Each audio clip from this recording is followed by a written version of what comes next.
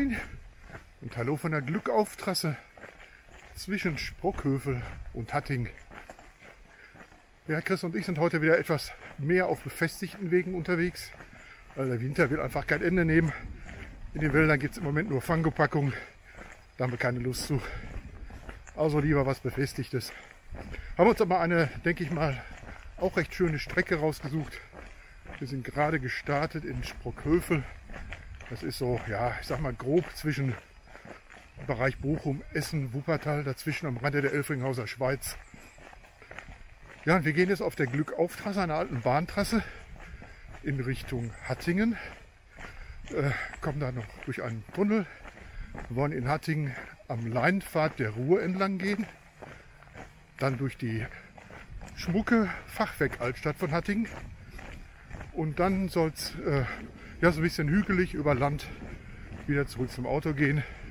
Geplante Streckenlänge ungefähr 21 Kilometer mit gut 300 Höhenmetern. Wenn es keine Umleitung gibt, weil hier war gerade schon eine ausgeschildert. Ich hoffe, die gilt tatsächlich nur für Radfahrer, nicht für Fußgänger. Sonst haben wir gleich das erste kleine Problem. Ja, Wetter, frisch ist es. 5 Grad, kalter Wind. Ich bin froh, dass ich zumindest die Handschuhe mal mit eingesteckt habe. Noch geht es ohne, aber man wird sehen, was kommt. Und bis gerade hat es auch noch in Strömen geregnet und auf der Anfahrt hatten wir sogar ein bisschen Schneeregen. Naja, es wird Zeit, dass der Frühling kommt.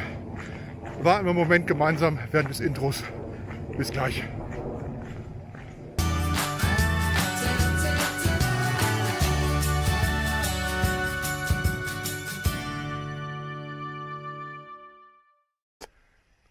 Ja, das Intro ist zu Ende. Der Frühling ist immer noch nicht da, aber dafür gibt es Rehe. Ich hoffe, ihr seht sie da hinten so ein bisschen.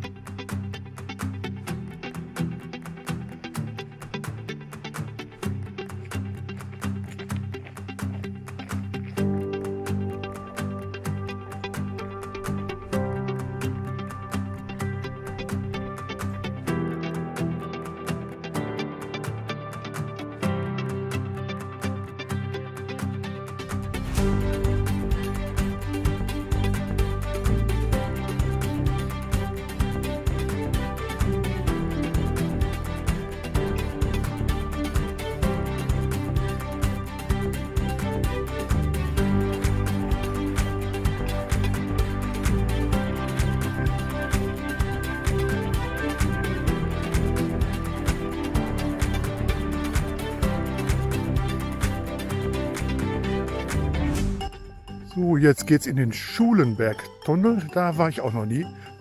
1883 erbaut, 195 Meter lang. Also der Tunnel, nicht ich.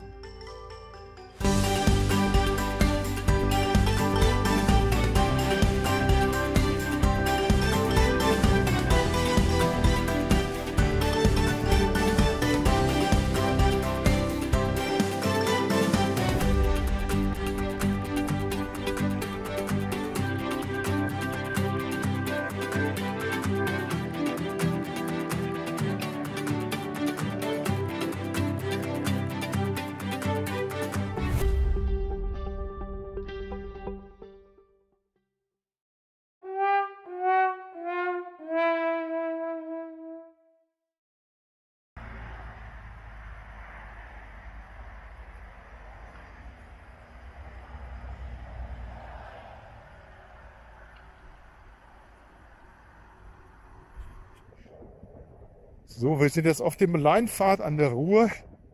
Ja, da stand jetzt noch ein Schild, dass es gesperrt ist, aber vielleicht hat es auch die Schilder einfach noch nicht weggenommen. Das ist zwar bis Oberkante Unterlippe hier das Wasser, aber ja, wir versuchen es mal. Ja, hier vorne wird es aber schon nass. Naja.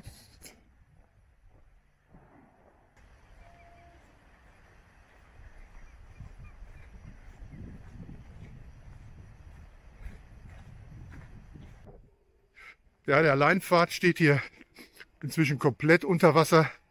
Wir sind ja auf einer Wiese unterwegs, parallel dazu. Und es ist gerade ein anderes Pärchen entgegengekommen. Die wollten befragen, ob man durchkommt. Vorher hatten die uns schon gefragt, ob man durchkommt zur anderen Seite. Ja, also wir kommen hier wohl durch, aber es gibt gleich noch eine kleine Challenge, die wir da wohl bewältigen müssen. Ich sag mal noch nichts. Ja, hier ist dann die Challenge. Ist nämlich ein Zulauf in die Ruhe. Und äh, ja, es gibt zwei Möglichkeiten. Chris hat sich dazu entschlossen, so wie es die beiden anderen Leute auch gemacht haben, sich über das Geländer da vorne zu hangeln. Aber ehrlich gesagt keine Lust, die ganze Strecke wieder zurückzugehen. Da hätten wir über Hauptstraße nach Hattingen reingemusst und schon den schönsten Teil verpasst. Das wollten wir nicht. So, und jetzt wird's lustig. Chris hangelt sich und ich überlege im Moment gerade noch, ob ich äh, mich da auch längs hangel oder äh, ob ich einfach die Schuhe ausziehe und durchs Wasser gehe. Ach, Leute, ehrlich. Ich lasse mal laufen und bin gespannt, was passiert.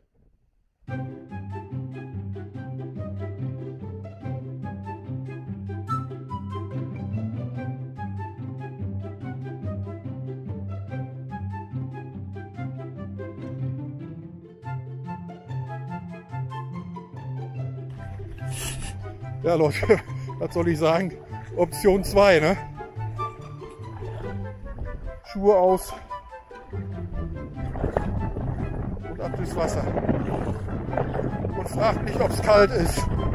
Ja, es ist.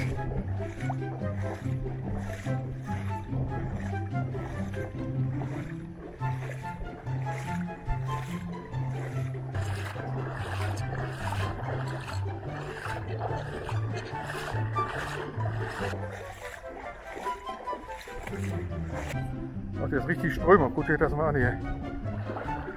Jetzt gerade tiefer.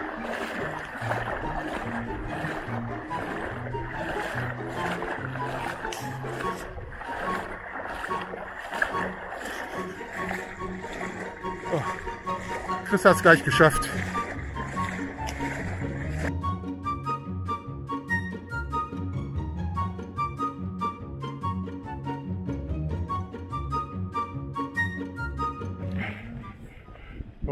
Für eine Aktion.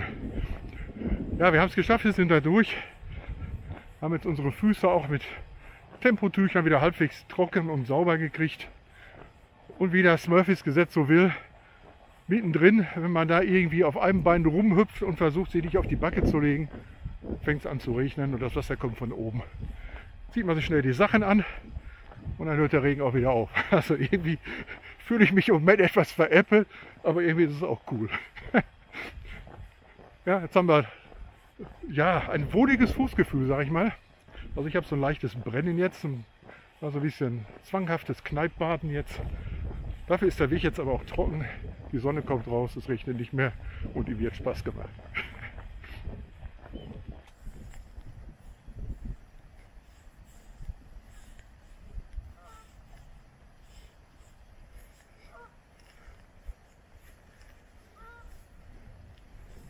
So, bis zum letzten Ende war es dann nochmal überschwemmt. Wir mussten eine Ausweichstrecke nehmen über die Wiese. Aber jetzt haben wir die Ruhe erstmal geschafft. Ja, und jetzt geht es weiter Richtung Hattingen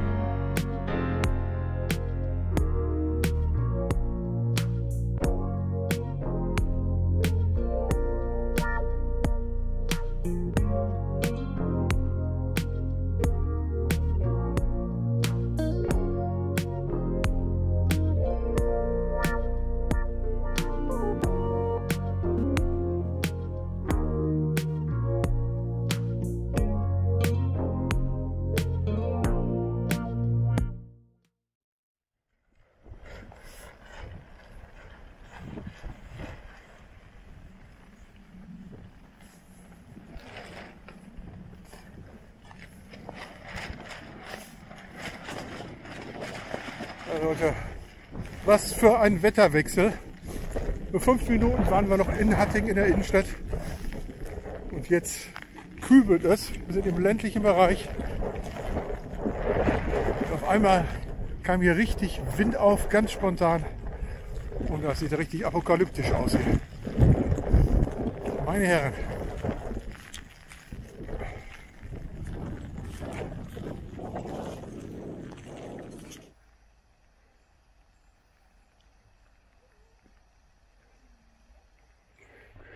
Ich weiß nicht, ob man sieht. Hier vorne auf der Straße, wenn man genau hinguckt, endet quasi der Regenbogen.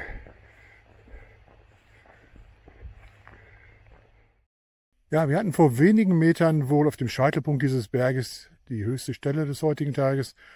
Da hatten wir einen Blick über Bochum hinweg Richtung Gelsenkirchen bis nach Essen. Und hier geht der Blick Richtung Wuppertal. Ihr seht ihn in der Ferne eventuell und komische Dinge aus dem Wald kommen.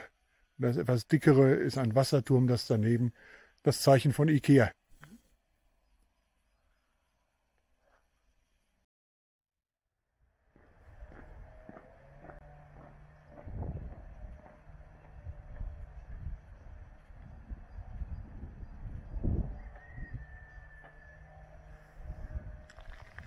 Was für ein Wetter. Hin und her geht zwischen Sonne und Regen, bisschen Hagel mit dabei. Richtig abenteuerlich heute.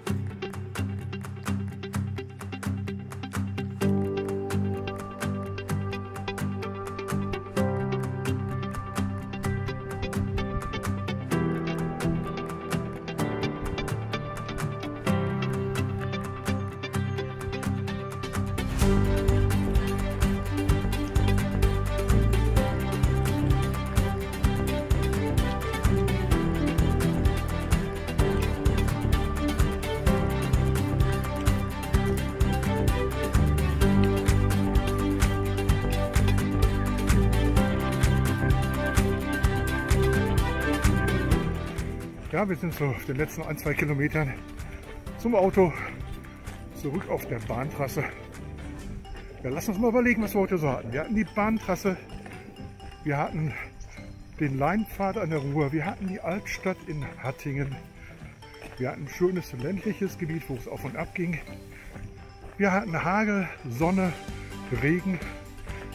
Wir haben ein paar Rehe gesehen, wir haben ein paar Regenbögen gesehen, und jetzt sind wir verschwitzt, nass und dann noch Reste vom Gänsekacke am Fuß. Ja, Zeit also, dass wir zum Auto kommen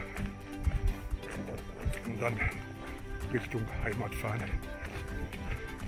Ja, ich hoffe, der Ton war unterwegs okay, weil äh, ja, es war teilweise recht windig und äh, der Mikropüschel ist auch nass geworden.